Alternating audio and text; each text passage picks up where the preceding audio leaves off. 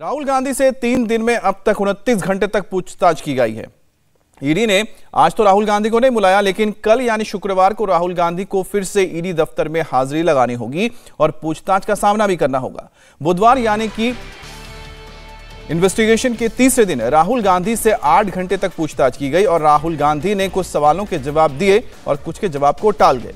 राहुल से ईडी की पूछताछ पर कांग्रेस नेता गर्म है। आज कांग्रेस ने कई राज्यों में धरना प्रदर्शन का ऐलान किया और कई जगह राजभवन के बाहर धरना दिया।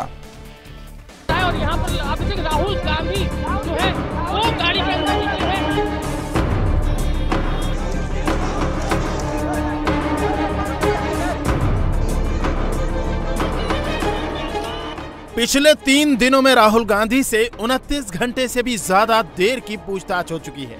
लेकिन राहुल गांधी की ज़ुबान से ईडी के सवालों के संतोषजनक जवाब नहीं मिल रहे हैं। राहुल गांधी आरोपी की तरह नहीं, बल्कि पार्टी के सर्वोच्च नेता की तरह इन्वेस्टिगेशन में शामिल हो रहे हैं। इसीलिए पूछताछ का सिलसिला खत्म होने का नाम ही नहीं ले रहा।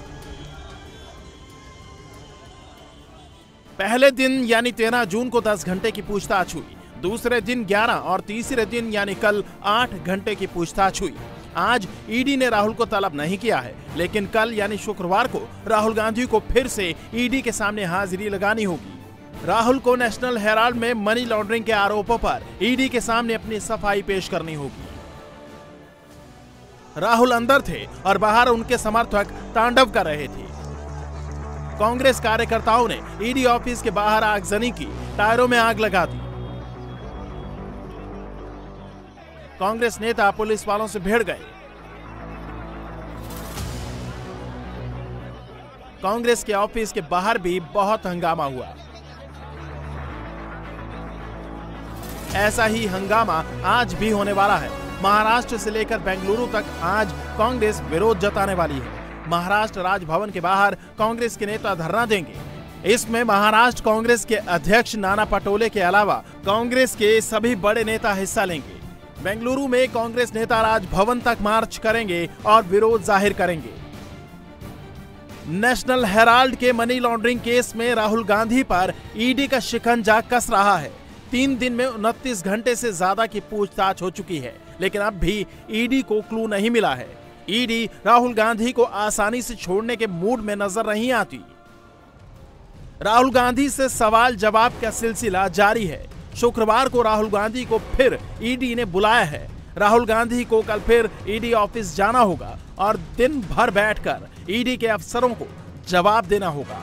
राहुल गांधी से ईडी लीगल तरीके से पूछताछ कर रही है। लेकिन ये बात कांग्रेस नेताओं को हजम नहीं हो रही। लगातार तीन दिनों से विरोध प्रदर्शन जारी है। कांग्रेस नेता उग्र प्रदर्शन कर रहे हैं। कल ईडी ऑफ़िस के बाहर कांग्रेस कार्यकर्ताओं ने टायरों में आग लगा दी। बीच सड़क पर लगी आग की वजह से ट्रैफ़िक में रुकावट भी हुई।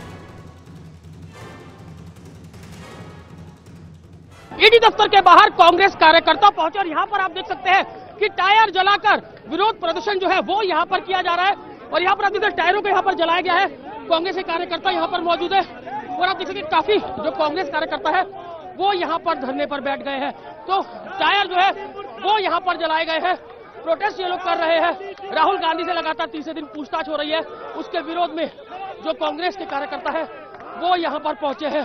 राहुल गांधी से आज भी पूछा, लोग टायर जला रहे हैं। ये लोकतंत्र की जो जो लोकतंत्र की जो हत्या करी जा रही है ये काला धुआँ आप देख रहे हैं, ये उसका प्रतीक है, जो लोकतंत्र का गला घोटा जा रहा है। आज ईडी सीबीआई को लगा के विपक्ष को बैठाने का काम, ये राहुल है, ये गांधी है, ये डरने वाला नहीं है। कांग्रेस मुख्यालय 24 अकबर रोड पर जमकर हंगामा हुआ। यहाँ धारा 144 लगाई गई है। ऐसे में, जब बड़ी तादाद में कांग्रेस कार्यकर्ता यहाँ जमा हुए तो उनकी पुलिस से झड़प हो गई।